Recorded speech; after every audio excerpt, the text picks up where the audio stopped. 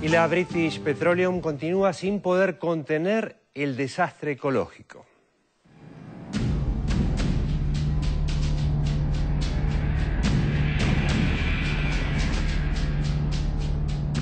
Como una paradoja imprevisible, la gigantesca fuga de petróleo que amenaza con convertirse en el principal desastre ecológico mundial de las últimas décadas acabó en menos de un mes con la anunciada política de Barack Obama de permitir nuevas perforaciones petroleras en las costas de los Estados Unidos por primera vez en 30 años.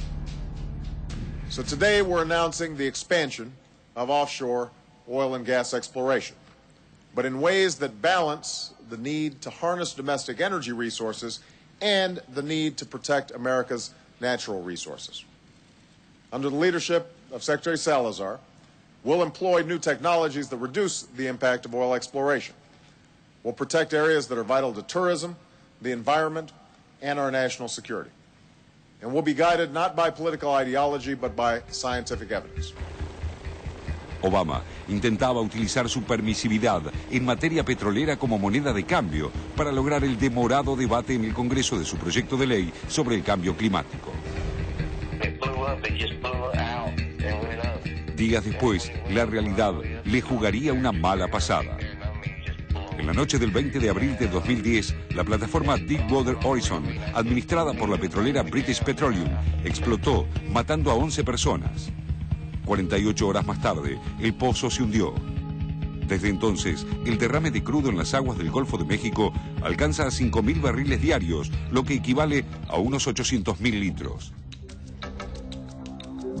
Vista desde el aire, la Marea Negra ocupa unos mil kilómetros en forma irregular, rodeando las reservas de islas naturales frente a las costas de Luisiana, amenazando playas, refugios de vida natural y zonas de pesca en ese estado, en Florida, Alabama y Mississippi, pudiéndose extender también a México. Luego de recorrer la zona afectada y supervisar los esfuerzos de contención de la mancha de crudo, Obama aseguró que su gobierno no limitará esfuerzos y recursos para contener el derrame. El impacto que cualquier fuga de petróleo causa de manera inmediata es que crea una película sobre la superficie marina que impide la entrada de luz en el agua, afectando a especies como las algas que la necesitan para realizar la fotosíntesis. Luego tiene lugar una contaminación aguda que puede ocasionar la muerte de muchos organismos, ya que los compuestos del crudo son altamente contaminantes. A largo plazo, el derrame provoca daños en el sistema reproductivo y la alimentación de todas las especies que componen el ecosistema. En los derrames costeros también se ven afectadas actividades humanas como la pesca y el turismo. Hasta ahora, los intentos por detener la fuga en el Golfo de México fueron vanos. Las plataformas están diseñadas con numerosos sistemas de seguridad para impedir accidentes como el ocurrido. Por razones aún desconocidas, estos dispositivos fallaron. Tras la explosión, las maniobras para contener los daños no surtieron efecto, como el intento de sumergir una gigantesca cúpula de acero y hormigón del tamaño de un edificio de cuatro pisos de altura a 1.500 metros con el objetivo de capturar y direccionar la pérdida. La opción actual consiste en cerrar el pozo con toneladas de lodo, residuos y cemento inyectados desde la superficie. Sistema que no permitiría la futura extracción de petróleo, razón por la cual la compañía británica intentó evitarlo hasta último momento. Otra posibilidad en la que trabaja British Petroleum es la perforación de un nuevo pozo para aliviar la presión en las fugas actuales, redireccionando el crudo a una nueva plataforma. Operación que tiene un costo de 100 millones de dólares y puede tardar tres meses. Otras alternativas que se están utilizando para evitar, en parte, las consecuencias de la catástrofe son los llamados skimmers, grandes embarcaciones que intentan absorber la mayor cantidad de petróleo de la superficie del mar. El despliegue de barreras contenedoras para acumular el combustible en zonas específicas y el incendio controlado de parte de la mancha. La British Petroleum, una de las empresas con mayor presencia en las perforaciones petrolíferas de Estados Unidos y América Latina, carga hasta ahora con los costos del desastre, pero las responsabilidades podrían ser compartidas por muchos otros. Otras dos compañías están en la mira. la contratista Transocean, dueña de la plataforma y encargada de su manejo, así como Camera International, la fabricante de los mecanismos de seguridad que no funcionaron correctamente. Durante una audiencia en el Senado estadounidense para determinar cuáles fueron los detonantes, las tres compañías involucradas eludieron responsabilidades e intercambiaron acusaciones, dejando como conclusión que la catástrofe obedece a una cadena de errores técnicos y humanos, pero también políticos. CEO of Transocean, Stephen Newman, says in his testimony, and I quote, We have no reason to believe that they were not operational. They were jointly tested by BP and Transocean personnel as specified on April 10th and 17th and found to be functional. This assertion seems to be contradicted by a document prepared by BP on April 27th, one week after the explosion.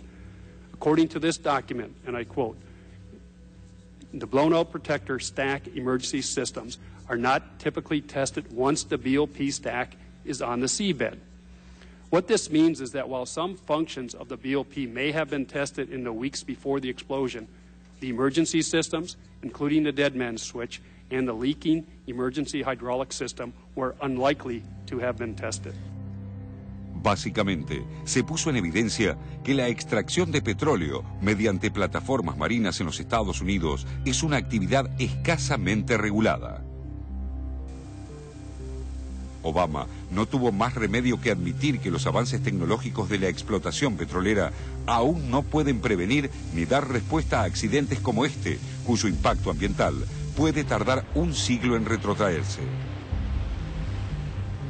Sin embargo, el factor más importante en la explicación del desastre podría ser la capacidad del lobby de British Petroleum, la empresa que anunció ganancias por más de 6 mil millones de dólares para el primer trimestre de 2010 y embolsó en todo 2009 unos 327 mil millones de dólares por sus actividades, es una de las más grandes que operan en Estados Unidos. Como señaló la periodista estadounidense Amy Goodman, BP gasta mucho dinero en influir en la política de Estados Unidos y sobre todo en la supervisión del cumplimiento de las normas, incidiendo directamente sobre los legisladores que deben aprobar las leyes de supervisión de la actividad. Como consecuencia inmediata, la Casa Blanca suspendió las futuras perforaciones costeras hasta que se investiguen las causas del accidente en el Golfo de México y se discutan nuevos controles y regulaciones más estrictas.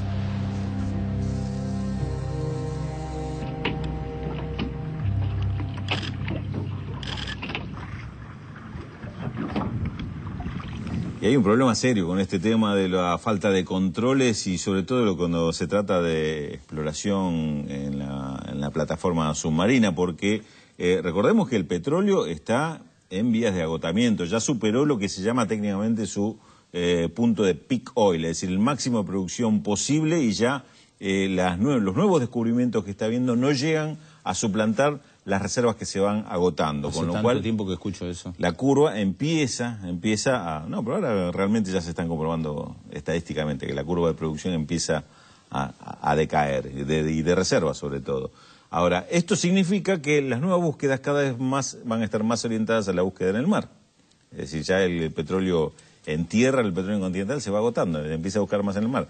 Y eh, están avanzando, obviamente, las inversiones y la necesidad de las petroleras más rápido que lo que avanzan los controles de este tipo, los controles de seguridad. Fíjate vos esta, este cruce de responsabilidades donde nadie termina haciéndose cargo y un accidente que, o sea, como no, tampoco estaba previsto, ahora tampoco nadie sabe cómo resolverlo, cómo solucionar. Las soluciones que, escuchamos en el informe este, que por otra parte especializó a nuestro jefe de producción, Francisco Alibrullo, en términos técnicos, para traducir algunos de los informes este, indican soluciones realmente descabelladas, como hacer un nuevo pozo para este, tratar de, evitar la presión en el que ya está perdiendo, digamos, son soluciones que, realmente están lejos de resolver el, problema.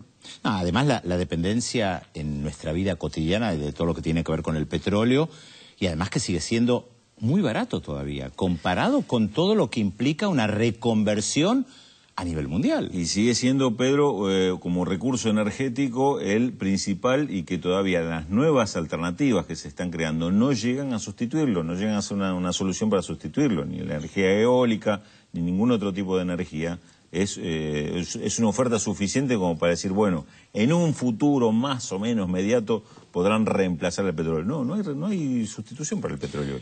Y sigue siendo el negocio más rentable del planeta. Me, me hace acordar al libro este que siempre recomiendo, La historia del petróleo, de Daniel Yerguín, un libro de mil páginas que se lee fácil porque es un libro period- escrito por un periodista que cuenta toda la historia del descubrimiento hasta los golpes de Estado Sí. que organizaron las empresas petroleras. O sea, el poder que tienen sigue siendo fabuloso. Sí, sí, muy buen libro, aparte, es cierto. Este, y, eh, y este poder, como decía el informe, cómo influye sobre los gobiernos, y no solo, sobre los gobiernos chicos, los gobiernos de este, países del tercer mundo, sino en gobiernos como Estados Unidos. Flor de problema tiene Estados Unidos, flor de problema tiene British Petroleum, todavía no está claro cuál puede ser la, la solución o la salida de esto, pero eh, flor de problema tenemos como sociedad mundial frente a este, a este, a este doble conflicto, ¿no? El tema de- del abastecimiento energético y el tema de la seguridad.